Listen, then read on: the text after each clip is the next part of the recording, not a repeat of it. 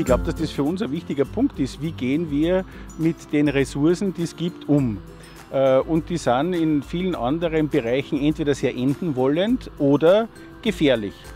Ich sage ganz ehrlich, ich stehe deswegen aus Überzeugung hier, weil ganz wenige Kilometer von hier entfernt es Diskussionen gibt, Atomkraftwerke aufzurüsten. Und da bin ich ganz entschieden jemand, der sagt, das mag ich eigentlich nicht haben. Es hat eigentlich sehr wenig Bedenken gegeben gegen den Windpark.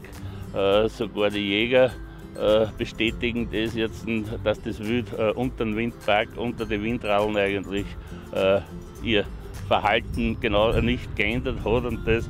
Und ich habe bis jetzt eigentlich keine negativen Meinungen gehört. Es gibt eine Verantwortung, die wir dieser Schöpfung gegenüber haben. Und da sind für mich einfach die Windkraftanlagen bisher die so ziemlich überzeugendsten. In unserer Gemeinde kann ich auch dazu sagen, ungefähr für 9000 Haushalte äh, Strom produziert. Das ist fast so viel, was man im ganzen Bezirk Horn die Privathaushalte verbrauchen. Und ich glaube, dadurch können wir locker sagen, wir sind ein Vorzeigeprojekt.